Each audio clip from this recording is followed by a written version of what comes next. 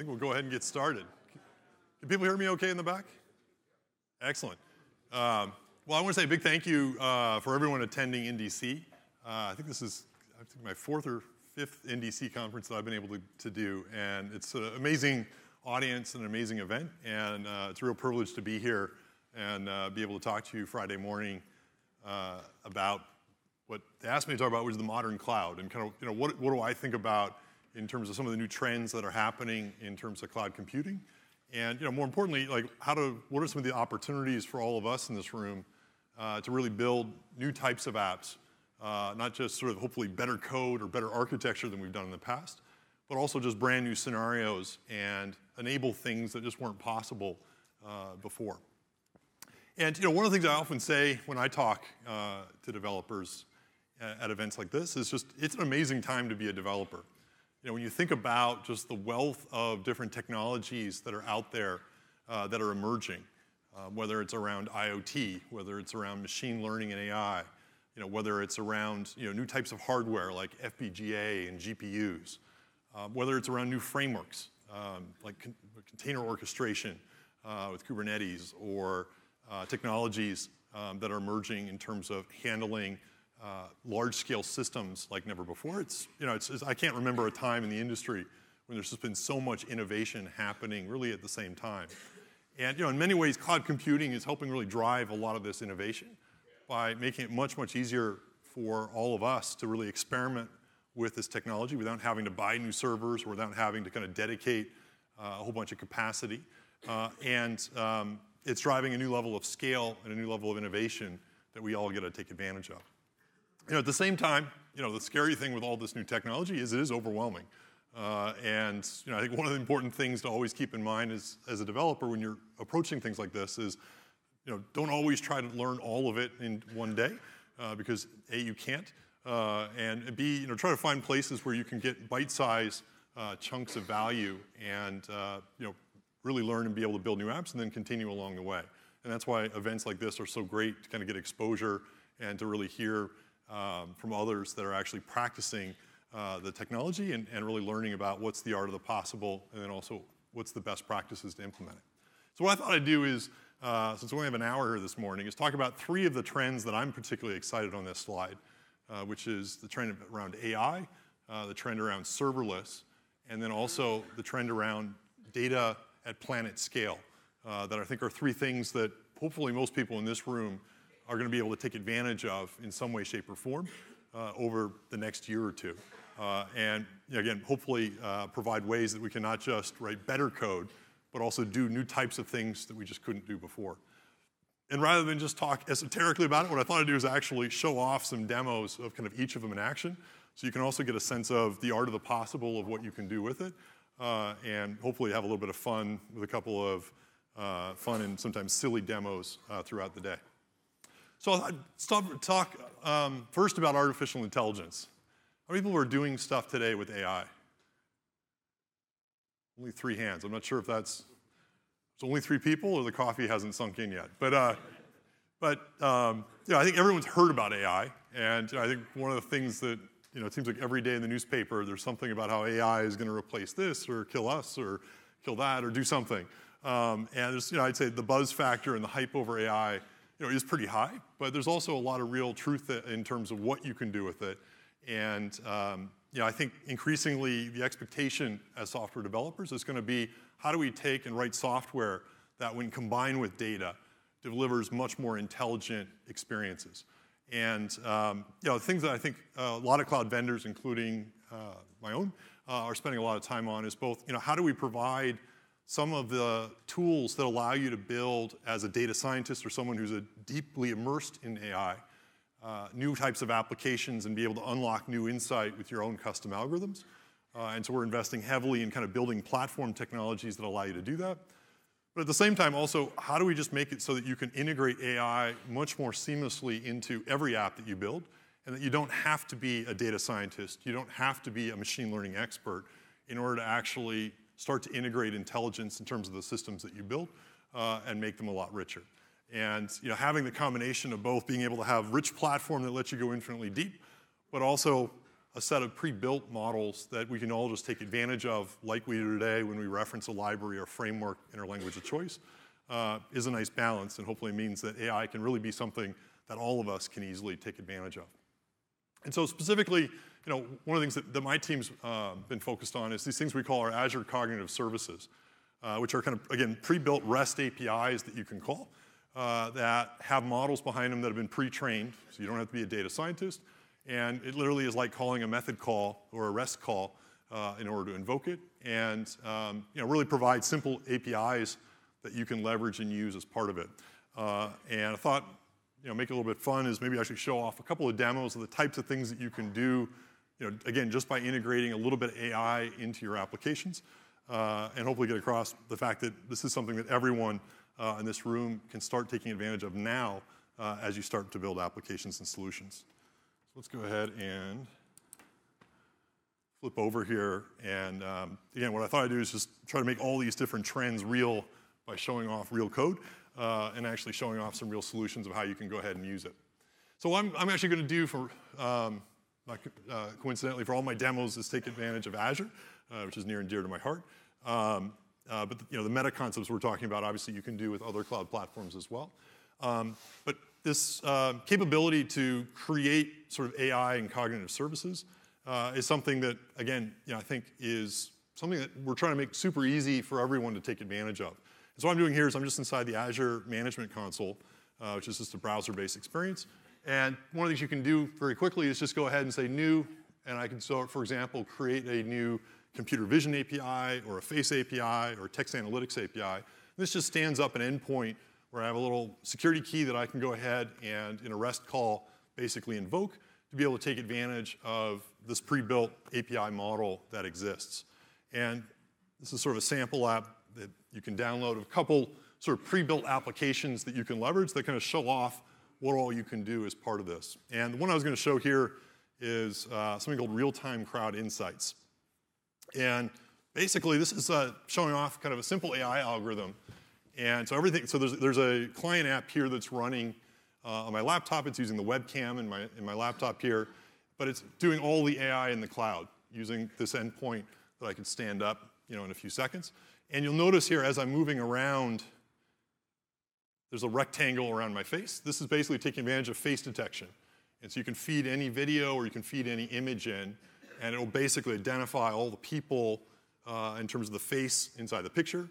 And you'll notice here if I zoom in, ooh, that's a little scary. Uh, you know, it also will do basic kind of uh, identity detection. So it's, it's noticed I'm a male, uh, it thinks I'm well, I'm aging in front of you. Uh, yeah.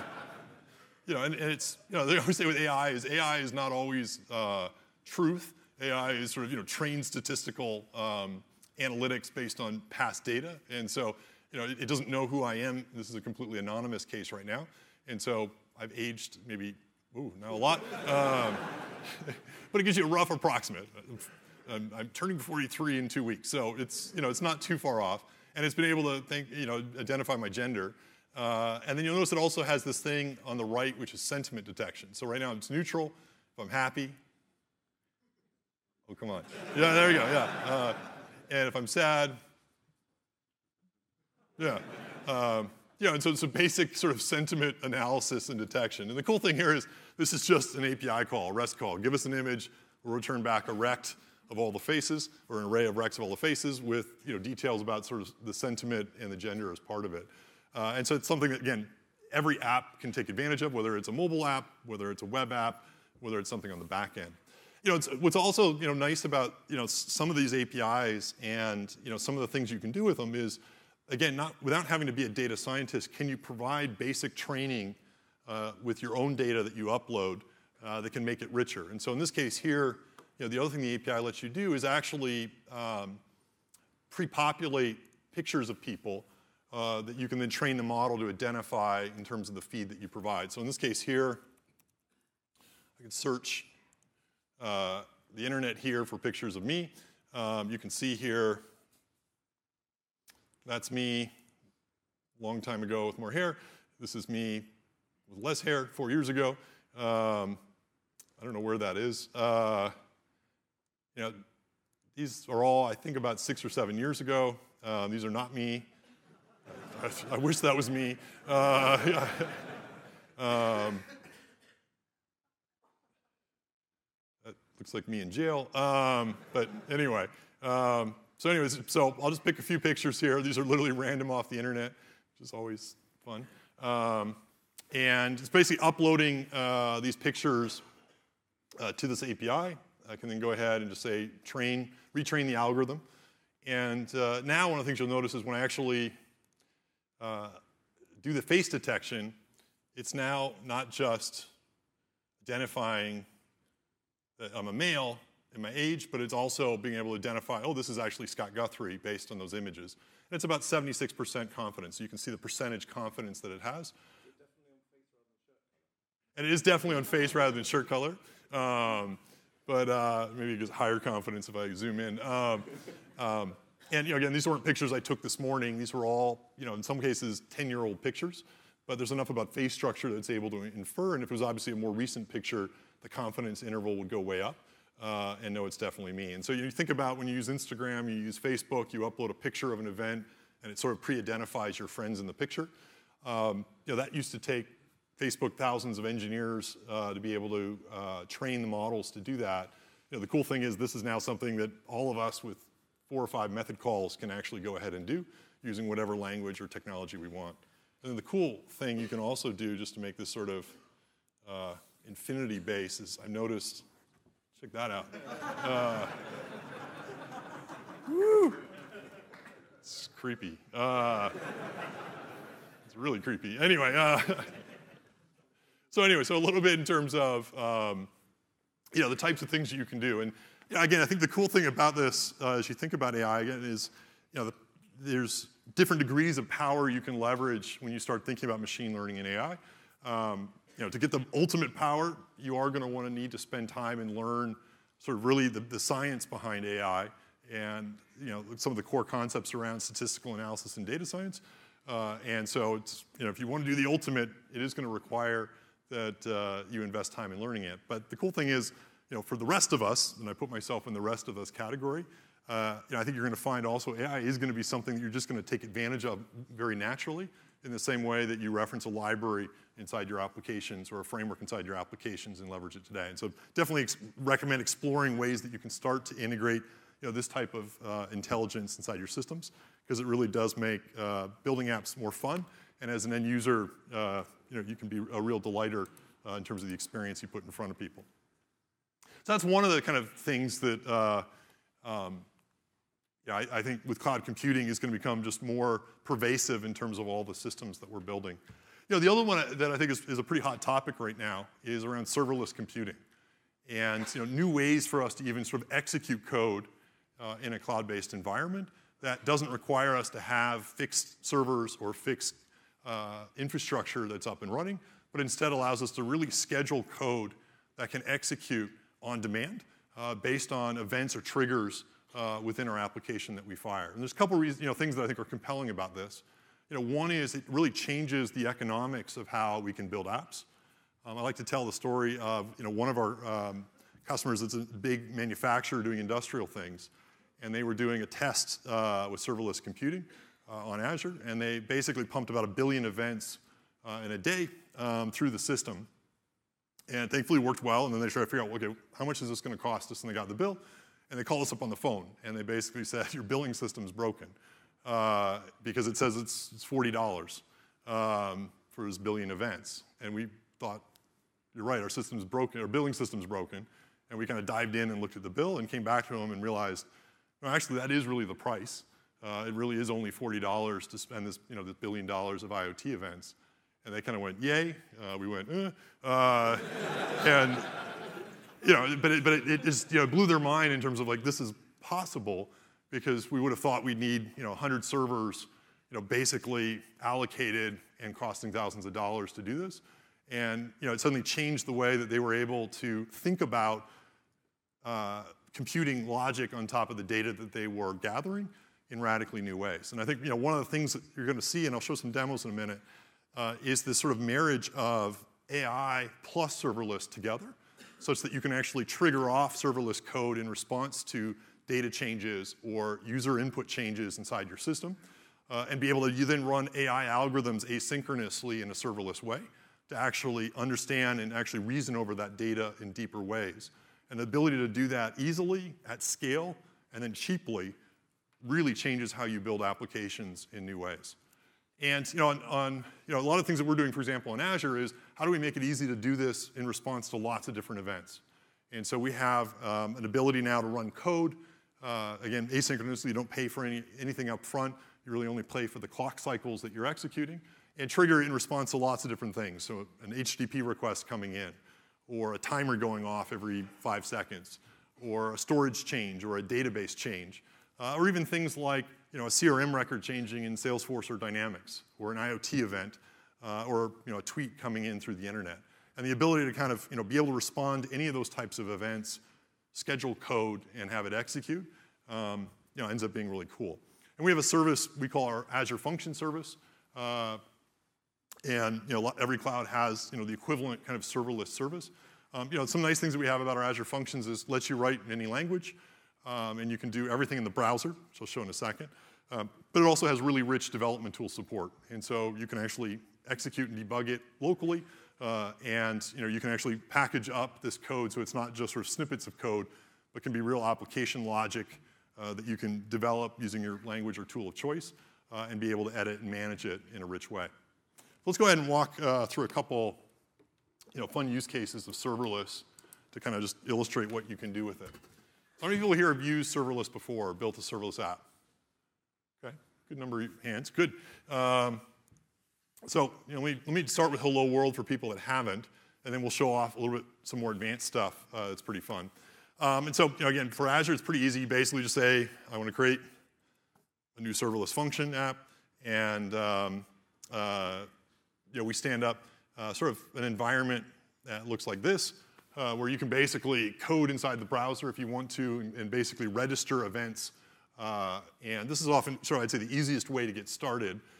Um, I'm one of those people that eventually doesn't want to program in a text box uh, inside a web page. I'd much rather be able to use an editor of my choice. Um, which is why we also have the rich tooling support. So I'm going to show off just a few Hello World demos using the browser since it's really easy, you don't need to install anything.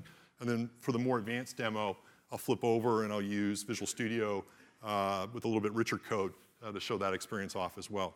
And so, you know, basically what you can do inside here is very easily say, I want to go ahead and uh, create a function. Ooh, assuming the internet works.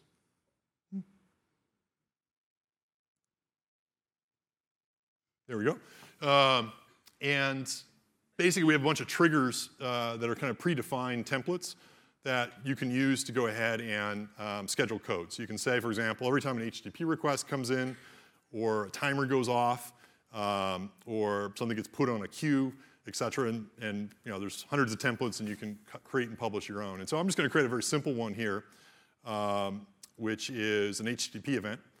And so I can choose the language I want. So I can do Python, I can do JavaScript, I can do Java, um, etc. I'm just using C sharp here, and I can go ahead and just say, call this the NDC HTTP trigger. And when I do this, it's going to go ahead and create for me, um, you know, again, simple text box with a little bit of sample code here on how to do kind of the equivalent sort of hello world uh, like scenario. And I can either just hit this directly or I can go ahead and hit run, in which case I'll get sort of interactive logging experience. And then I can just take the URL to this function we created, paste it in the browser. And by default right now, it's just going to spit back and say, you know, please pass the name on the query string of the request body.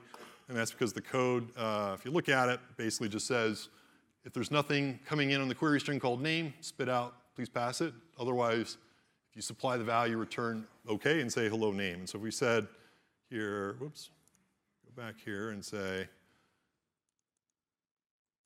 name equals NDC, see, spits back hello NDC. And the cool thing again is just the fact that I'm not spinning up a VM, I'm not paying for anything that's sort of sitting idle as I'm doing this. Um, you know, instead, I'm literally just paying based on the invocations uh, that are coming in um, as part of it. Uh, it looks like, oh, cool, some other people in the audience have found it. Um, uh, and, um, you know, and, and, go from there. So this is sort of super simple run some code in response to an HTTP event. Let's look at something a little bit richer. So, you know, how many people, you know, you might say, well, what, can you do with just running code on an HTTP event? Why is this at all better um, for different things? You know, the place where I think serverless ends up being sort of really compelling is for things that don't happen all the time, but happen asynchronously or, you know, occasionally uh, in particular is where the economics makes a ton of sense for serverless. Uh, and so, for example, you want to process an order that's put into a queue uh, for an e-commerce site. You might not need to do that every second. You might only do five orders per minute. Serverless makes a ton of sense to be able to schedule that code uh, reactively in a really fast way. You know, other cases where I think you're going to see serverless used a lot more is with things like webhooks and the ability to kind of compose different applications together, including SaaS and other cloud services built by others, uh, and be able to kind of stitch them together so that you can get a notification when, say, your CRM app has a record change, or when um, you know, uh, uh, something happens in a social media app, and then be able to kind of asynchronously schedule code based on it. So how many people here today have ever used a webhook technique in order to actually kind of enrich their app? Okay, so maybe 10%, 15% of people. Um, how many people here use GitHub? Okay, a lot more hands. Uh, so GitHub has rich webhook support, so you can actually uh, wire up webhooks to any GitHub repository. Um, and so what I thought I'd do is just actually show off a super simple scenario where, hey, let's actually, uh, for everyone that's using GitHub, you know, how can you actually write some code in response to GitHub data changes and you know, enrich your GitHub-based workflows um, a little bit and basically not have to pay pretty much anything to do it. So what I'm going to do to, to do this is I'm going to create a new function. And um, uh, yeah, one of the templates I'm going to use here is a function called a GitHub webhook. Um, and so I could call this, again, I could write it in different languages. Um, and you know, this is going to create, again, super simple little app here. Uh, it's four lines of code. Um, and obviously, you'd make it a lot richer if you wanted to. Uh, but it's just going to basically, by default, spit out to the log from GitHub, here was the message that came in. Um, so again, not, not super rich. Um, and what it exposes here in the top right is two little things, which is a function URL. So in other words, the HTTP URL to invoke this code, and then also a GitHub secret, which is just basically we just pre-populated. If you click it, you see it. But since I don't really want to share my GitHub secret with all of you, um, no offense. Um, trust me, when you click it, you get something like that. That's just the URL. Um, and what I can basically do now is just take this and go into GitHub. And so this is just standard GitHub here. Um, I can click on, let's say, a repository I have. If you go to settings, um, you know, one of the things that's there on the left is called webhooks. Um, and so if you never added a webhook to GitHub before, it's pretty easy. Um, all you do is you paste in the URL of uh, that you want them to call in response to an event happening. You paste in that secret feed uh, key uh, right there. Um, you do want to make sure you, you, pass the right content format. So I think our template defaults to JSON, but you just want to make sure you select the right one that matches the template in terms of how you parse the values. And then you can effectively say, have them uh, forward everything to me, or you can basically select individual events inside GitHub. So if you just wanted to know and say someone posted an issue uh, to, your, to your project, just click the issues one, and then they'll call that URL only in response to issues occurring. So super simple uh, kind of approach. Um, just so you don't have to watch me or you, you, can't watch me paste in my secret. I just created one earlier uh, that points to that, but I use basically that approach in order to do it. Um, and uh, you know, again, this is the, the same default template that I had where I'm just spitting out the value of GitHub. And so now if I run this, um, oh look, other people have already found this. Um, Cool, isn't that fun? Um, it's gonna be even more interesting with the next demo. Um, so I just go to the issues list here and uh, go ahead and if I want to, um, hello NDC. Ah, uh, no, I know it is. Uh, hello back. Uh, and I can post this. Um, and basically, what I'll find if I go back in the browser here is GitHub Saw an issue was posted, saw it, we had registered webhook, called my URL, this code executed, and then just spat back in the command line, you know, get hello back.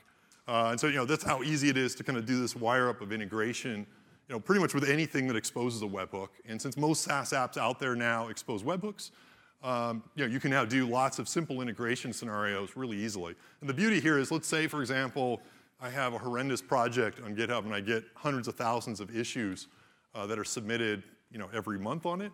You know, I'm probably going to pay for, I don't know, six pence worth of compute uh, to be able to execute the responding serverless code uh, to basically get notified. Um, and so again, it's super cost-effective way that uh, for effectively nothing, I can now integrate my systems into other systems and start to build more interesting end-to-end scenarios. So this is all kind of hello world default template stuff. Um, and you know, right now I'm not integrating any AI, um, obviously, into these apps, but I could obviously call those same AI algorithms easily within this code. And so what I want to do is now show like an even sort of slightly richer app uh, where instead of developing everything in a text box uh, in a browser, um, yeah, I want to be able to kind of write uh, a little bit more, more um, rich code in whatever editor or tool of my choice. So in this case here, I've got a um, Visual Studio project that I've created. Uh, if you're using VS in .NET today, um, we actually have kind of a nice Azure function project that you can just go ahead and create. Um, this puts all the right files in there, but it also kind of wires up a local emulator as well as debugging and publishing experience so that you can also easily um, work with it locally without having to kind of upload code continuously in the cloud. And what I'm going to run here, let me just kick this off, uh, is sort of a fun, silly app, uh, which is a cat moderator app. Um, and basically what this site is, is you know, it's a standard sort of content uh, upload site where you can upload pictures of your cat. Um, is anyone here a cat person? A few people are. Um, I'm more of a dog person, but someone built the cat site for me, so it's, it's, a, it, it's a fun demo. You can substitute whatever content you want in it. Um, and basically, you know, you can go ahead and upload a picture. Uh, so let's, you know, go ahead and say cute cat. It uploads it. Um, and the way this works is it uploads it and it's putting it in what's called a pending state. So instead of this going live for the whole world to see, what I want to do is, since people can upload arbitrary content, is make sure this really is a picture of a cat uh, and that you know, someone can't go ahead and uh, potentially upload something inappropriate or something that isn't specific to the site. And what I have here is this serverless code that's running in the background to do this moderation. And so basically what just fired here in the debugger uh, is an event that I'd wired up, not in response to the actual HTTP post, so it's not an HTTP event. Instead, I've wired it up so that anytime data changes in my database, I want this code to asynchronously execute. And so it's basically running in the back end, and again, only firing when something gets uploaded. And what this basically is doing is just calling off to those same cognitive services I talked about earlier in AI, and it's going to do effectively image and content moderation. And so it, this is sort of the, the, code to basically invoke um, those cognitive services. And it's basically uploading the image to the cognitive service and saying, bring back to me human readable version of what's in this picture. And you can see here, broken in the debugger, this caption here. And this wasn't the caption I entered as the user uploading my picture. This is what came back from the AI algorithm, which is this is a picture of a black cat sitting on a bed. Um, and I can then basically say, okay, there's a cat in the picture, great, approve it. Um, it also checks the uh, caption uh, that, was, that the user specified. I said cute cat. Uh, there's a sort of profanity checker or appropriateness checker on the, on the text. And so if someone also uploaded something inappropriate, I can go ahead and um, remove it. And since right now this picture contains a cat, and the text passes the moderation. I can go ahead and hit continue, and um, it approves the picture. And if I come back here and hit refresh on the approved page, you can see the cat's there. And this is cool because other people are now uploading their own pictures. this is where it gets scary. Um, but a brown and white dog. So, cool thing is, my suspicion is this is not someone's pet cat. Um, it's a brown and white dog, uh, and so I'm going to continue. Oh, a cat lying in a desk in front of a computer. Oh, lots of people have found it. Awesome. Um, and you know, the saving grace is close-up of a cat. more dogs. Uh, anyway, before it's dangerous, let's just go ahead and refresh. Um, uh, but you can see, there we go. Uh, who's, who owns Deus in here? Thank you. Oh, okay. Um, I'm not sure whose that one is, but it is a cat, and it is sitting at a desk in front of the computer. Yeah. Um, and so you can see also why it approved it. Uh, and then we can look at the rejected ones.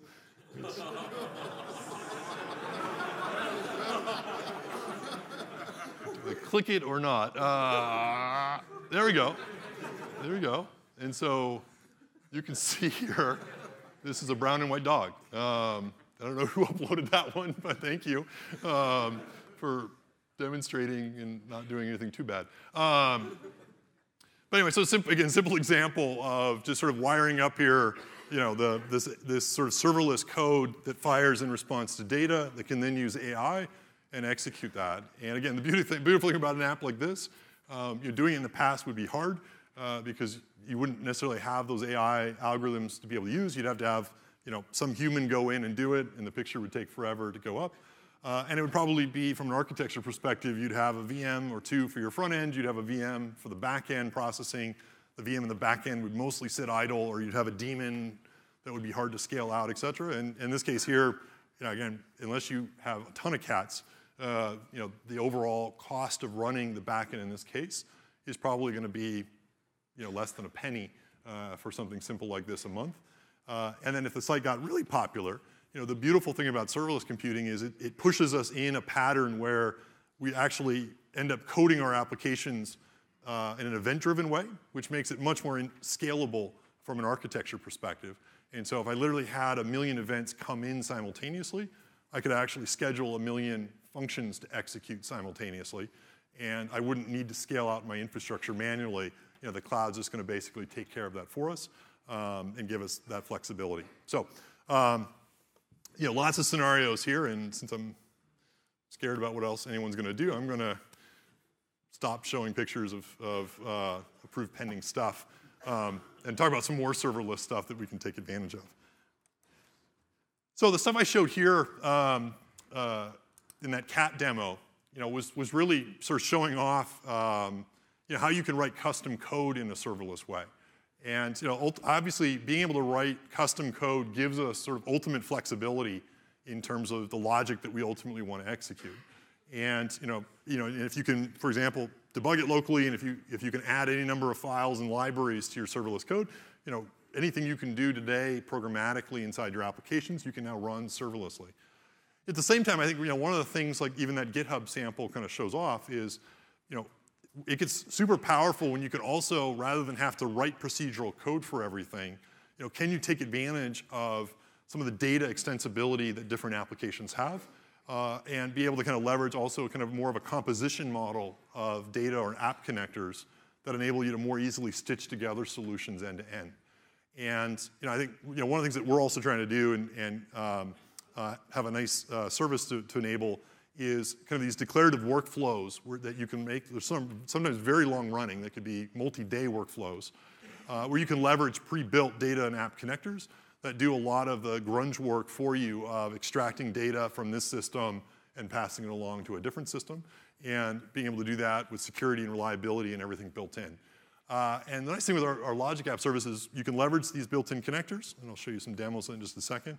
But you can also then drop in your own connectors using the same approach that I just showed uh, with these Azure functions, where you write your own custom code. And so you have the flexibility of both pre-built connectors, but also the ability to write your own code uh, that you can go ahead and execute. So let me show you what that looks like and means. So uh, I'm going to show off. Oops, right button. I'm going to show off a um, uh, sort of a service that, that we've actually been running ourselves on our team that we found super useful, uh, which is an example of one of these logic apps. Um, and so you can just go new logic app to create one.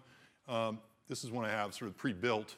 And basically what this service does is it is automatically um, scanning for social media feedback on Twitter and serverlessly executing workflows every time a tweet comes in that matches a certain criteria.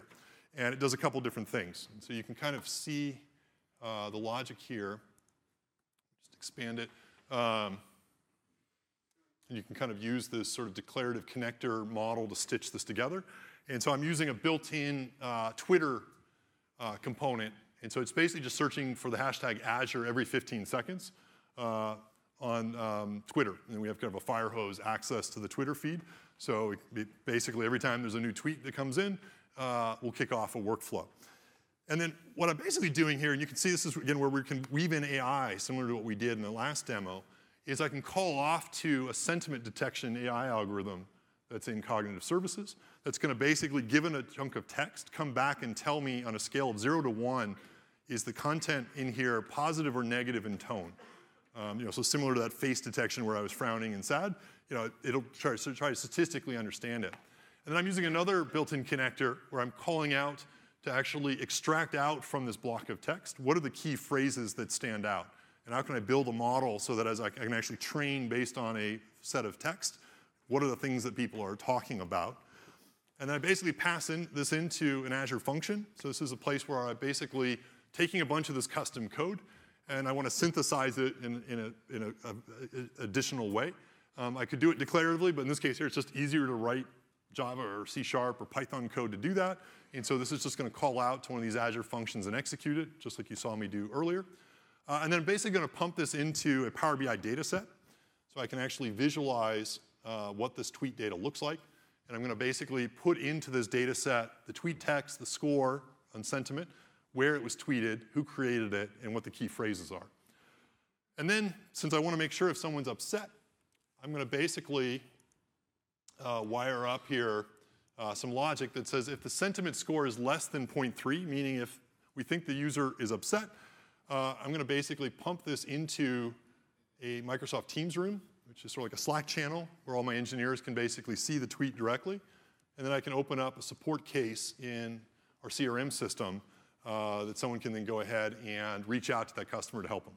And these are all kind of built-in connectors. And the beautiful thing is, you know, you can leverage these built-in connectors so you can just sort of drag and drop these and wire them up for lots of different scenarios uh, because different SaaS apps, frankly, implement REST and implement security in different ways. So if I want to integrate with Marketing Cloud, I can use Adobe or Facebook, we have connectors, or Google, we have connectors, or DocuSign or Dropbox or AWS or Gmail or you know you name it, uh, Mailchimp. You know these, these are all built-in connectors, uh, Salesforce, et cetera, Slack. Um, you can also go ahead and connect on premises. So if you've got an SAP system, that's your ERP system, or you've got an on-prem Oracle or SQL database, you can also wire up these things declaratively. And what this thing now does, once I hit save, is it's now running serverless code. So I'm not having to pay for you know, a server workflow that's running around. Instead, I think I pay for every million invocations uh, of this workflow. Um, and I think for every million steps, it's something like, I think, 15 pounds uh, worth of usage. So you can run a lot of these steps for very little, if nothing uh, at all.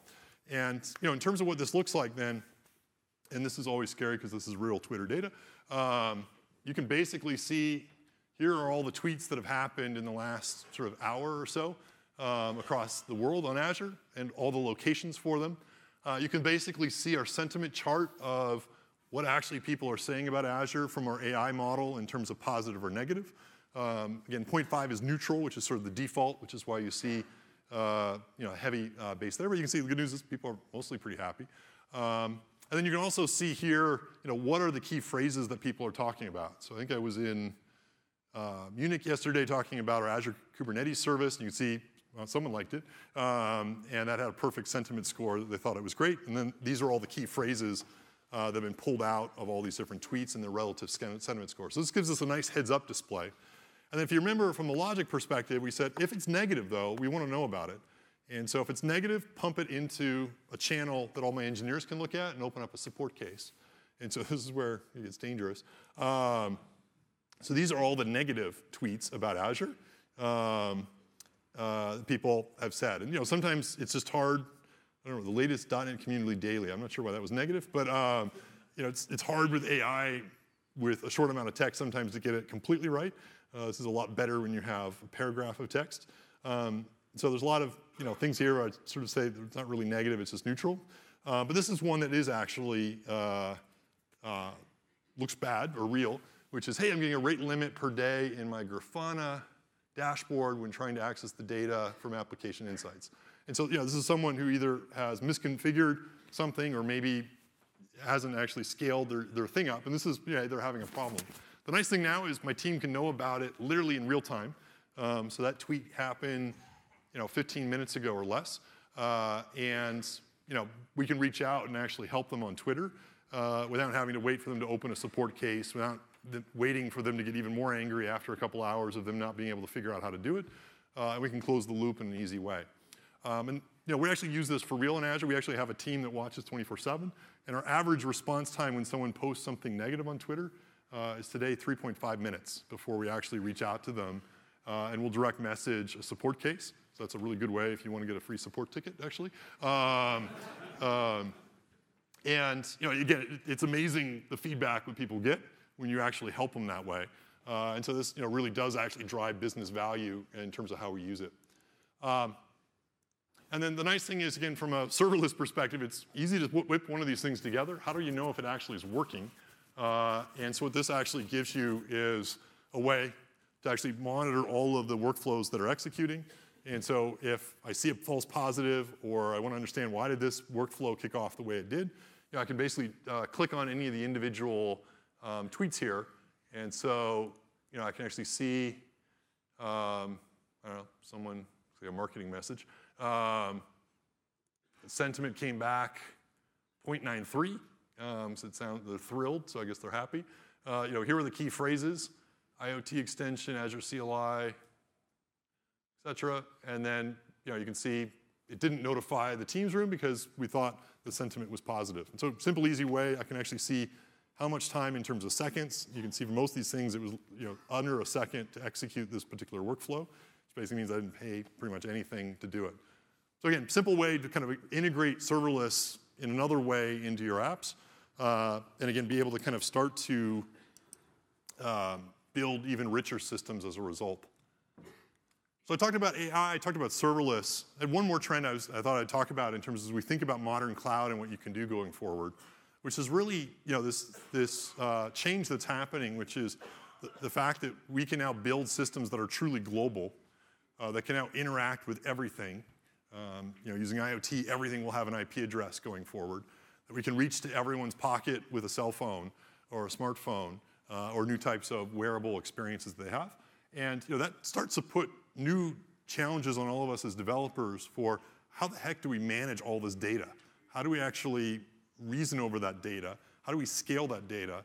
And in a world where our users are no longer just in the country that we're in, but they're in Australia, they're in the US, they're in Asia, they're in Africa, they're all over the world. You know, how do you build an apps at planet scale? And really, how do you manage the data in those apps at planet scale and do it in a robust, reliable way? Um, and you know, it's going to put new pressures on all of our architectures and all the systems that we use um, as developers. And there's no silver bullet, so I'm going to talk about some of the stuff that we're doing to make this easier, but also recognize this isn't just like you flip a switch and it works. Um, but the more that we can leverage in the cloud systems that help us towards that journey, um, you know, the more we're going to be able to build even richer and cooler apps. And you know, one of the things that we've been hard at work at, um, and I think there's been some talks here at the event, uh, is you know, a, a, new database system we call Cosmos DB um, which is kind of the sort of uh, the, first really globally distributed, what we call multi-model database service uh, that can help uh, as part of this. And basically the way Cosmos DB is designed is, you know, unlike a traditional relational database where you kind of pick the place where you want to run it and that's where it runs, um, it's really designed so that you can actually run it at a global level and actually run it and scale it out across multiple regions in the cloud. And so we have 42 regions across the world, so those are data center regions, two of them in the UK here. Um, and so I can actually configure uh, where all my data will be present. So I can say I want it in Australia, I want it here in Europe, I want it North America, South America, and Asia. Uh, and then anytime you write data into Cosmos DB, it will put it in all of those different locations and it will keep it coordinated and in sync. And we'll talk about from a transaction perspective, even give you the ability to coordinate transactions at the consistency level you want uh, to be able to access that data. And that then means that you can have an instance of your app say, the front end or the API layers in each of those regions so you can provide super, super fast latency to your customers uh, against that data, and then know that if that customer hops on a plane and goes to Europe, they'll still have super fast latency because your DNS will send them to the Europe region uh, instead of the Australia region, and they're still hitting the same data that they'd saved in Australia uh, at single digit millisecond response time. So that gives you kind of the global nature. Um, you know, what's nice also about a system like this is it's really designed to be able to, again, support and handle lots of different types of data, uh, ranging from a few gigabytes in size uh, to literally uh, multiple petabytes in size, and from being able to do, say, 100 transactions per second to be able to scale up to over 10 million transactions per second. Uh, we actually have a couple customers that are now at the 10 million transactions per second range uh, in terms of how they're using the system. And in fact, one of our retailers for Black Friday um, uh, in November uh, scaled up to manage 100 trillion transactions in a single day. Um, and I actually thought that was a typo because uh, I'd never heard of 100 trillion transactions in a day. Um, but that's, you know, that's the type of system where when you want to have uh, rich AI running, you want to have rich analytics, and you want to be able to do rich curation of your customer and product data, you know, that's the type of level you'll do if you really operate at a global scale. Uh, and then, you know, one of the things that we do with Cosmos DB, which is nice, is provide not just an availability SLA, meaning like the system stays up, but also SLAs around performance latency and around performance throughput. It's one thing to say you can scale to 100 trillion transactions, but does it actually perform at that level and perform within certain uh, performance characteristics? And so one of the things that's nice about Cosmos DB is it guarantees single-digit millisecond response time, uh, for all your operations uh, at the 99th percentile. So meaning 99% of all operations are guaranteed to complete in single digit millisecond response time or you get money back. Um, and that gives you kind of a scaling point that you can architect around, again, very large systems. Uh, and that's true also for performance, throughput, and consistency. And then lastly, the cool thing here is it's not like a new programming model you have to learn. You get to choose the programming model you already know and be able to take advantage of it. So if you're a MongoDB uh, developer today, you can point your existing MongoDB code and libraries against it. You don't need to install a new library. It's binary compatible with the MongoDB protocol. The same is true for Spark, for Gremlin, for uh, example, um, uh, graph-based systems. Uh, and then we also just recently released Cassandra support in preview. Uh, so you can basically program against this type of system at a global scale, uh, again, using any Cassandra code that you already have. And then the cool thing is, and this is sort of how it ties all the stuff together, the AI, the serverless, and now this, is you know, when you can actually um, store infinite amounts of data, when you can handle millions of updates per second on that data, and then if you can go ahead and execute serverless code in response to any of those data changes, where you can write arbitrary logic against uh, asynchronously any of those uh, data updates, and then be able to integrate AI into it, then you really have the power and the ability to kind of understand your data, your customers, and your scenarios at a level that was never possible before and be able to design for a footprint and an architecture that can support literally billions of users around the world interacting and hitting your system. Uh, and you know, this is one of the nice things that's now integrated is the fact that you can kind of stitch together this data, stitch together the serverless, and then again, be able to integrate AI uh, throughout the mix. Um, I don't know if anyone from ASOS here actually? There's a, uh, they're, they're, busy working on features, I guess. Um, they're a great company that's based here in the UK and um, have been a, a big Azure uh, customer and a, a, wonderful partner of ours. And um, you know, I have a nice video from them talking about some of the ways that they've been approaching uh, the ASOS.com retail experience. They're using Cosmos DB, they're using Azure, and they're really pushing the boundaries of what you can do in AI. And so I'll just play a quick video and we'll show another demo um, in terms of kind of, you know, how they're trying to approach it and how they're thinking about it.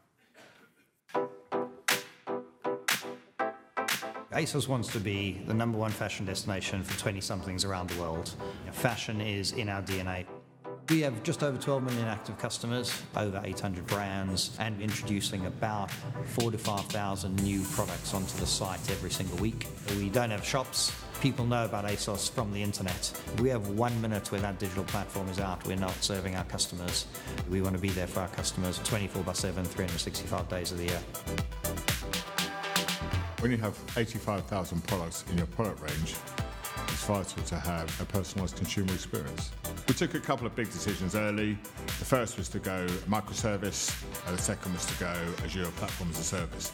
We're using advanced machine learning techniques to synthesize custom and product characteristics to create data sets that will allow us to rank products' relevance in milliseconds. And what that will mean for our customers is we're going to show products they might like, those will be more relevant, the experience will be more relevant. And clearly, this is all about maximizing the sales from the time the consumer shops with us. We're using Cosmos DB because it allows us to distribute the data models to be near the services wherever in the world they're deployed. We like the uh, immediate elasticity. We like very low latency for random reads. And Azure has delivered as a rock solid platform to create a, an ever more compelling consumer experience. Let's go ahead and walk through kind of you know this sort of uh, Cosmos DB experience, and, and um, in particular, how do you you know leverage kind of data at planet scale, and and build systems that can can uh, do really interesting things. And so this is a simple uh, example uh, that I was going to show here. Uh, it's sort of like a content site, so it's Comic Wiki. Uh, who here likes Marvel comics? Safe question at a developer event. I have to talk in Canary Wharf on Monday, and I'm not sure how that answer is going to go down uh, with uh, a bunch of bankers. But um, you know, so this is again sort of simple site. It's like Wikipedia. You know, it's got a lot of content in it um, uh, about uh, Marvel characters. Um, which and there's obviously a graph, which we'll talk about in a second, in terms of how Marvel characters are uh, represented. Uh, and then the other thing we have, let me just make sure it's running, um, is sort of a chat bot here. And so if I wanted to ask, for example, Tony Stark here, who are your friends? Um, I could do it. It could bring back uh, people. If I want to know, for example, you know, who are your uh, enemies? Um, uh, who are, let's say, your enemies that work for Hydra? It brings those back. And you know, the interesting thing about kind of building a chat-like system here, uh, where you're basically asking arbitrary questions, is you know, it, the data model doesn't always lend itself well uh, the relational data model often doesn't lend itself well to answering these types of questions because it very much is I'm asking about not just information of entities, but also kind of the social interaction experience and the relationships and hierarchy between these entities. And you know, what a lot of social networks have found is you know, using a graph-based data model works a lot better in those types of scenarios, but kind of, I can ask friend to friends who are also joined and intersected across different parts of the graph. And that's sort of how this system here was built. Um, and you know, the code in it is, uh, was written in, in this case, Node.js. Um, and um, it is uh, you know, using a uh, popular um, graph AP, uh, syntax called Gremlin. Uh, and in fact, just using the vanilla Gremlin NPM package uh, to actually connect to the data, data and actually perform these types of queries. And so, you know, from this Node.js app's perspective, this is just a Gremlin database. Um, you know, what's cool is we're able to build this Gremlin database using something like Cosmos DB and take advantage of kind of those planet scale capabilities. Uh, and so when I go ahead and create a new system here, I can just go and um, you know, just say I want a new Cosmos DB system. Uh, and when I specify, you know, I give it the name and all that stuff, but you can notice I can choose the API I want to program. I could use SQL, I could use Mongo, Cassandra, a table API, or again, this Gremlin graph-based uh, programming model. Um, and I even have multiple programming language or programming models and data models inside my overall database uh, for each table or collection. Um, but you know, again, this allows me to kind of use the data model of my choice as I'm interacting it. And this is, you know, this is um, the Marvel database that I'm using as part of the demo. Um, and so this is already created and populated. And uh, one of the things I'll do is just drill into um, our data explorer experience here. And you can kind of see, uh, I'm just doing a gremlin query against kind of the root uh, of that particular database. And you can kind of see, zoom in a little bit here, um, you know, here is how that overall, oops, uh, collection of Marvel characters are kind of interacting, again, on the graph level from a relationship perspective, uh, an entity perspective um, across the list. And I can you know, obviously do this inside our management portal like so. Uh, the other thing we do now have um, is sort of the ability, if you want, you can also go ahead and do it in your developer tool choice. So this is on my Mac. Uh, using VS Code. Um, and so if I wanted to, I could basically um, directly in my development tool, and just so I don't pull down like a petabyte of Marvel character data, um, rather than pull back the full graph, I'm just going to basically um, pull back a little bit around Tony Stark. And so this is basically you know, showing effectively, um, again, the relationships across that graph and um, you know, allow me to work with it directly between my code, kind of in a nice integrated way. What's cool though is, is not that I can just store data, because obviously there's many different graph databases out there, but really the fact that I can store it all over the world and now take this Marvel app and basically scale it so that no matter where you are in the world, it's only a few milliseconds to basically get an immediate response back when someone visits or interacts with the app. Uh, and that's sort of the beauty about having sort of this global scale database. And so you can see here, these are all the uh, regions around the world where Cosmos DB is deployed. So these are each Azure regions. And so you can see we have two in the UK. Uh, we've got um, Ireland, we've got Amsterdam, we've uh, uh, got Germany and France coming shortly. We've got three in India, two in Australia, et cetera, et cetera. And everything that has a dark blue right now is where my Marvel database is currently deployed. Um, and so if I wanted to enter, for example, Brazil, I could go ahead and select that. I could hit save, and this would then go ahead and you know, expand my Marvel database to also be present in Brazil with the exact same data, such that if someone in the UK makes a write, it'll show up in Brazil um, so that all my Brazil customers will see it simultaneously as well. And I don't need to write any replication data. Basically, the database will do that for me um, and help guarantee uh, it's available everywhere. Uh, and what's nice also is, and you know, obviously for anyone that's built a distributed system, you often struggle with the question of, you know, so what happens when you write that transaction in the UK? You know, when is it guaranteed that that data is going to show up, say in Australia? And there's a, you know, the challenge with any type of distributed system, especially one that's global, uh, is you can never go faster than the speed of light. And since it takes about uh, a millisecond to go 130 miles of cable, uh, there's no way to instantaneously write a transaction in the UK and in Australia simultaneously that goes faster than the speed of light. And so there's always going to be some delay when you make a write in a distributed system before it can be propagated everywhere. Um, and you know, one of the things that, that, uh, that makes Cosmos a little unique is it gives you uh, the ability as a developer to also choose what is the consistency model you want to have every time you make a write in terms of uh, when the transaction completes in the UK versus when the data shows up in Australia. And so, for example, you can actually choose if you want to have what's called session level consistency, uh, or sorry, strong level consistency, so that the transaction will not commit in the UK until the data also is committed and is available in Australia. That's really good if you're doing financial transactions and you want guaranteed uh, consistency. It also has the downside, though, it's the slowest because, again, it's going to take some period of time to go to Australia and back uh, to commit that transaction, and you can't go faster than the speed of light as part of it. You can also do what's called eventual consistency, which says as soon as you write a transaction in the UK, the transaction is completed and your app continues, and then it will eventually replicate the data to Australia, and we do have a guaranteed period of time by, by the time it'll be there. Um, that gives you the best performance, but at the same time also means that you don't necessarily guarantee that someone instantaneously in, in Australia will have the correct data. And then we have a nice thing we call session consistency, which frankly is one of the best because it's sort of in between. And that basically says in the UK, as soon as you write that transaction, uh, it's guaranteed to be committed. And then any subsequent connection on that session or using the session token you provide is guaranteed to always have the committed data, no matter where in the world that it actually operates.